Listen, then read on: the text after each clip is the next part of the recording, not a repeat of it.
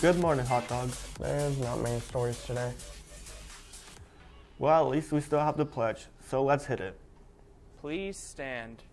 I pledge allegiance to the flag of the United States of America and to the republic for which it stands, one nation, under God, indivisible, with liberty and justice for all. Lunch today, lines 1 and 2 is stuffed crust pizza, and 3 and 4 is corn dogs. A reminder that the art show at the Frankfort Public Library will end May 2nd. Now, let's send sports and weather. Good morning, dogs. Yesterday, the Lady Dogs traveled to Rossville. The Dogs collected four hits with Kareem Quinones, Sydney Whitaker, Justine Thomas, and Cameron Campbell, all collecting one hit. Defensively, Tara Martinez center field and Justine Thomas right field made spectacular plays, keeping the Dogs in the game.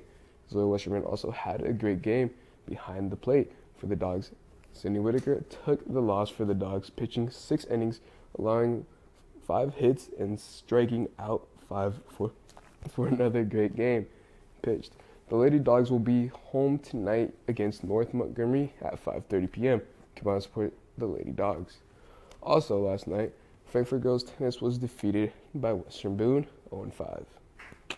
The Lady Hot Dogs tennis team is back in action tonight at home against Lafayette Jeff at 5 p.m. The baseball team is also in action tonight here at home facing the North Montgomery Chargers. The game will begin at 6 p.m.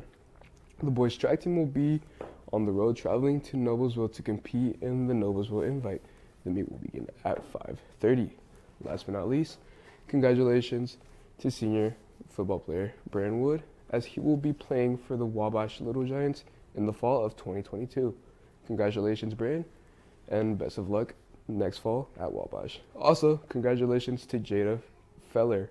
She will be playing the, at the University of Arizona on their wheelchair basketball team.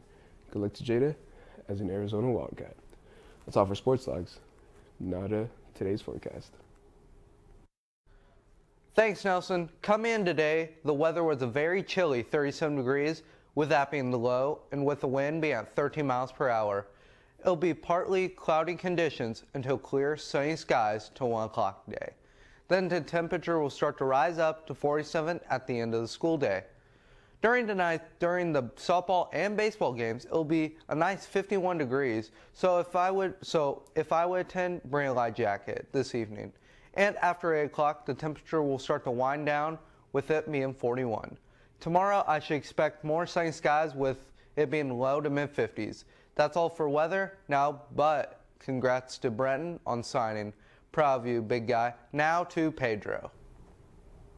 A happy bir- birthday goes out to Elena Barton, Jada Feller, Nidra Feller, Lily Holston, and Ariana Mejia. Today is Superhero Day. We expect to see some heroes today. As far as we have for information on there was no winners yesterday, sadly. But tomorrow shall be TV slash movie ensemble. Hey, before we go, here's a fun fact for you. Did you know that the largest bird to ever exist had a wingspan of almost 20 feet? It lived about 60 million years ago. Hmm, never knew that. Thank you for the fact, Kyle. That'll be it for today's announcements. Don't forget to hit the subscribe button and the bell notifications for more. Have a great day.